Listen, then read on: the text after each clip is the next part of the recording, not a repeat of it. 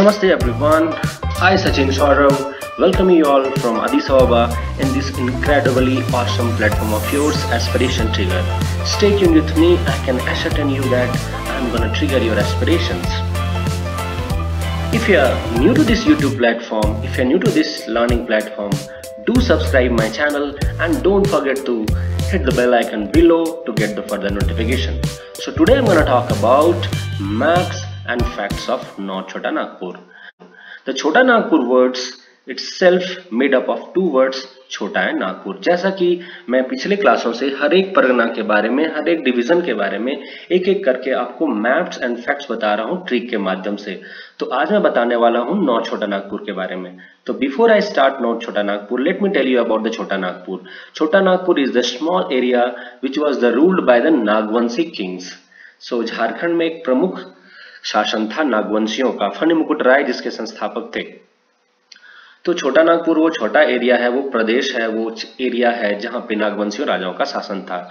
इसके northern part को north Chota Nagpur कहते हैं और इसके सदर्न पार्ट को साउथ छोटा नागपुर कहते हैं।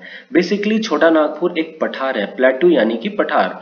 सो so, छोटा नागपुर पठार कहाँ पे अवस्थित है? So it this is a plateau in eastern India which covers much of the Jharkhand Orissa west Bengal and Chhattisgarh यह इंपॉर्टेंट क्वेश्चन है। दिसमें भी आज नहीं examination that Chota Nagpur is plateau is covering which of the states along with Jharkhand. Majorly lion share of Chota Nagpur is belongs to Jharkhand and then Odisha and then west Bengal and then Chhattisgarh. अब मैं थोड़ा आपको पठार के बारे में बताता हूँ। पठार, ये देखिए, ये समतल इलाका है। बट इसमें अंतर क्या है मैदान से? So this is elevated highland ये ज़मीन से उठा हुआ हाईलैंड है, ऊँचा भाग है, जो कि समतल है। यानी आप घर में टेबल का एग्जांपल ले सकते हैं, जो ज़मीन से उठा हुआ है, लेकिन फ्लैट है। I mean plateau is a flat elevated highland that rises air of the surroundings और प्लेटू जो होते हैं, बहुत रिच इन मिनरल्स होते हैं। यहाँ पे पशु चर सकते हैं, लेकिन खेती होती नहीं है। अब मैं प्लेन्स के बारे में बात करूँ, थोड़ा ज्योग्राफी के बारे में बात करूँ, यहाँ पे तो प्लेन्स एंड प्लेटूज यानी मैदान और पठार जो है, दोनों समतल भाग होता है। लेकिन प्लेटू कैसे होता है? अभी थोड़ी देर पहले मैंने बताया प्लेटूज आर एलिवेटेड हाईलैंड कैसे है ये? ज़मीन से उठे हुए समतल एरिया है, समतल क्षेत्रफल है ये। इसको हम लोग एलिवेटेड हाईलैंड बोलते हैं। और इसका टॉप कैसा होता है? फ्लैट होता है। और ये कैसे फॉर्म होता है? सो प्लेटूज यानी पठार are basically form due to the volcanic activity अब जो ही वॉल्केनिक एक्टिविटी होगा तो किस तरह का सॉइल्स होगा? Black soils and plateaus are very rich in minerals जो भी प्लेटूज हैं, बहुत रिच इन मिनरल्स होते हैं।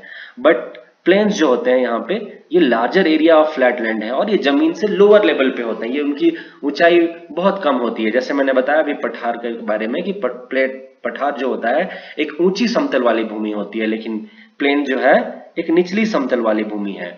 Plateaus are rich in minerals but plains are rich in agriculture trees and most agriculture are taking place in the plains अब मैं थोड़ी और ज्योग्राफी की बात कर लूँ। जब जो भी लेक्चर मैं आपके पास लेके आ रहा हूँ उससे जितने भी रिलेटेड फैक्ट्स हैं वन बाय वन मैं सारे फैक्ट्स आपको कराता हूँ।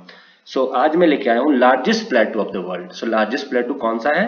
तिब्बतन प्लेटू अब मैं लार्जेस्ट प्लेटू ऑफ़ इंडिया के बारे में बात करूँ तो ये डेक्कन प्लेटू है और ये एट स्टेट्स को कवर करता है। So now please comment in the comment box that what are those eight states which is covering Deccan plateau अब मैं प्लेन्स के बारे में बात करूँ तो largest plain of the world is west Siberian plain अब मैं largest plain of the India is Indo Gangetic plain अब मैं आता हूँ नॉर्थ छोटा नागपुर की तरफ़। तो सबसे पहले हर एक डिस्ट्रिक्ट हर एक डिविजन में मैंने आपके साथ एक एक ट्रिक लाया है। तो यहाँ भी मैं आपके साथ ट्रिक ला रहा हूँ। तो नॉर्थ छोटा नागपुर में कितने डिस्ट्रिक्ट्स हैं?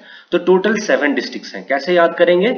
ये मैं ट्रिक के माध्यम से आपको बता रहा हूँ। तो चतरा चतरास कोहराम and bond holding bond holding का मतलब होता है बैंक में पैसे के बदले में एक निश्चित समय पर पैसे के भुगतान के लिए एक बॉन्ड रखा जाता है। उसी को हम लोग बॉन्ड बोलते हैं। और जो बॉन्ड होल्ड करता है, उसको बॉन्ड होल्डर बोलते हैं और इस प्रोसेस को बॉन्ड होल्डिंग बोलते हैं।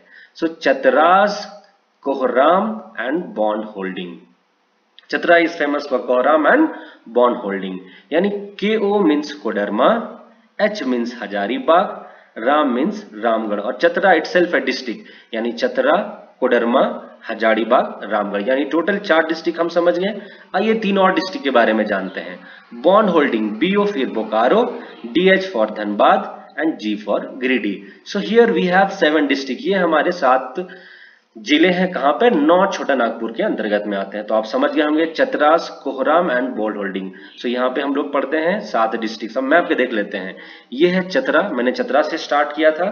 मैं स्टार्ट कर रहा हूँ। मेरे टिक्स जो है, ये स्टार्ट है west to east so Chatra's कोहराम सो कोडरमा हजारीबाग रामगढ़ सो चतरास कोहराम और कैसा बॉन्ड होल्डिंग सो फिर से बोकारो धनबाद एंड गिरिडीह चतरा कोहराम means Koderma Hazaribagh Ramgarh bond holding Bokaro Dhanbad and Giridih so these are the seven districts which comes under north Nagpur division जो कि area wise Jharkhand का सबसे बड़ा डिवीज़न है। और इसका हेडक्वार्टर कहाँ पे है? हजारीबाग। ये मैं पिछले क्लास में बता चुका हूँ।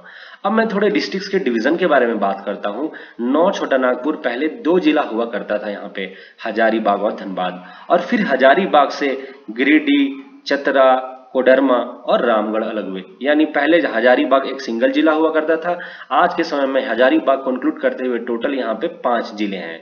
उसी तरह धनबाद भी पहले एक सिंगल जिला हुआ करता था एकमात्र जिला हुआ करता था, लेकिन 1991 में बोकारो अलग हो गया और फिर ये धनबाद और बोकारो। सो इस तरह से हजारीबाग गिरिडीह, चतरा, कोडरमा, रामगढ़, धनबाद, बोकारो। ये मैप देख लें।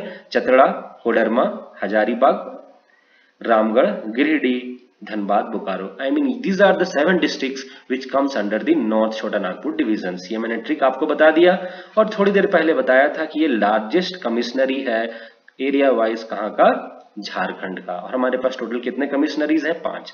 अब मैं थोड़े से बात कर लेता हूँ। ये अभी थोड़ी देर पहले मैंने आपको बताया कि ये सारे डिस्ट्रिक्ट अलग हुए।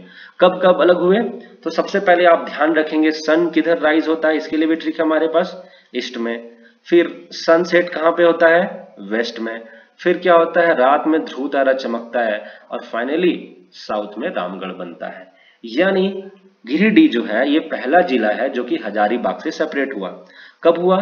तो फोर्थ दिसंबर 1972 4 दिसंबर उन्नीस सौ बहत्तर को गिरिडीह हजारीबाग से अलग हुआ। फिर गिरिडीह के बारे में याद करेंगे। सनसेट हुआ ईस्ट में सनराइज हुआ ईस्ट में, फिर कहाँ पे जाएँगे हम? चतरा की तरफ़। तो गिरिडीह के बाद कौन सा जिला अलग हुआ? चतरा। चतरा कब अलग हुआ 29 मई उन्नीस सौ इक्यानवे को चतरा हजारीबाग से अलग हुआ। And then Koderma in the north it has been separated from Hazaribagh. It has been carved out from the Hazaribagh on tenth of April 1994 similarly and eventually Ramgarh has been separated from the Hazaribagh. On 12th of September 2007 so now these are the five districts. Hazaribagh it was made in let me tell you Hazaribagh was district which was made in 1833 and in 1972, Giridih has been separated from Hazaribagh and then west in 1991, Chatra has been separated from Hazaribagh. Similarly, on the 10th April 1994, Kodarma has been separated from Hazaribagh and then Ramgarh has been separated on 12th of September. So these are very important questions to be asked in the forthcoming examination friends.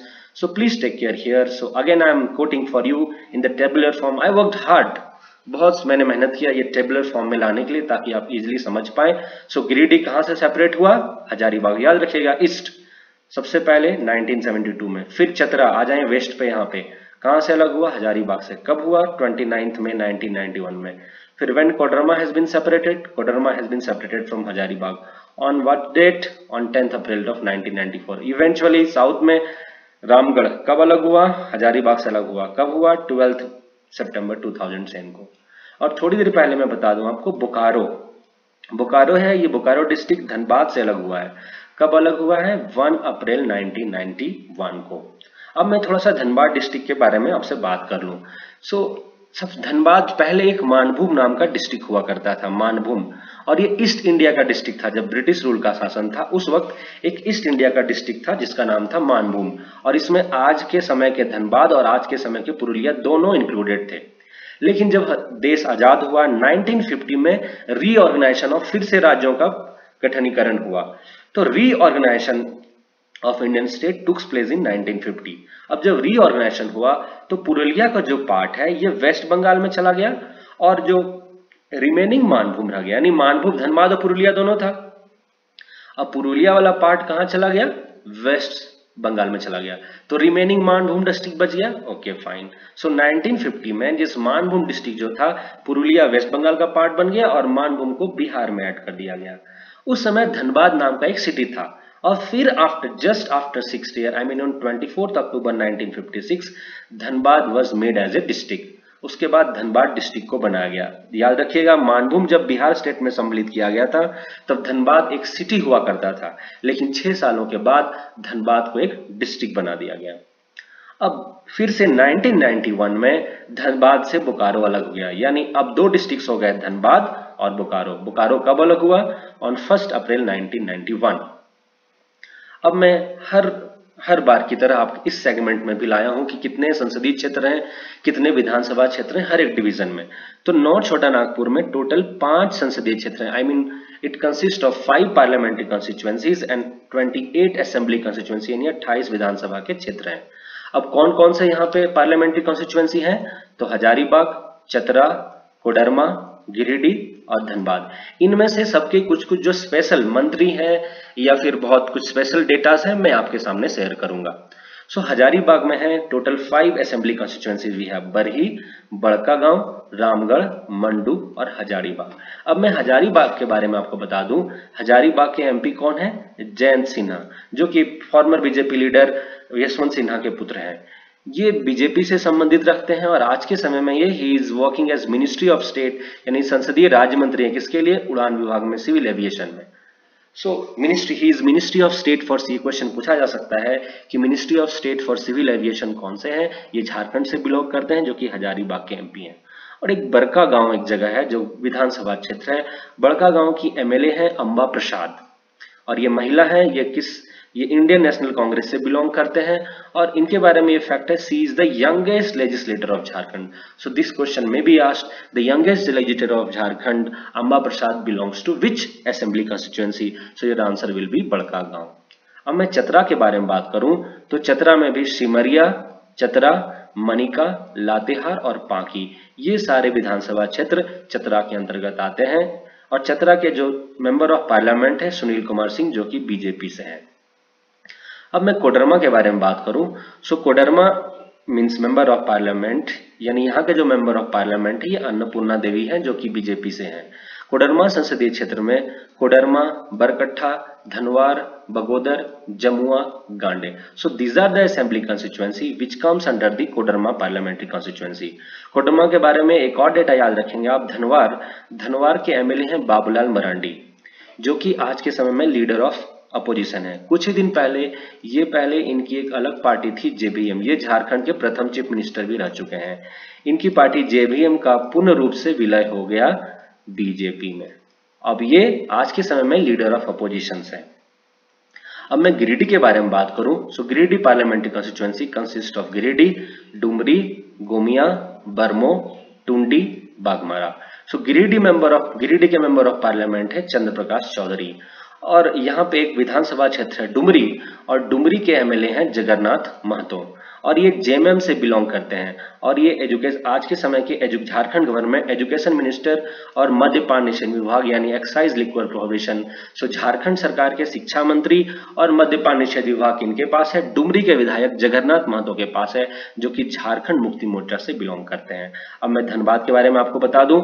So Dhanbad parliamentary constituencies consist of Dhanbad, Bokaro, Chandan Kiari, Sindri, Nirsa and Jharia Assembly Constituency. यहाँ के MP हैं P N Singh जो कि BJP से belong करते हैं so these are all about the maps of Chota Nagpur अब मुझे नेक्स्ट क्लास में सब सारे फैक्ट्स के बारे में बताऊँगा।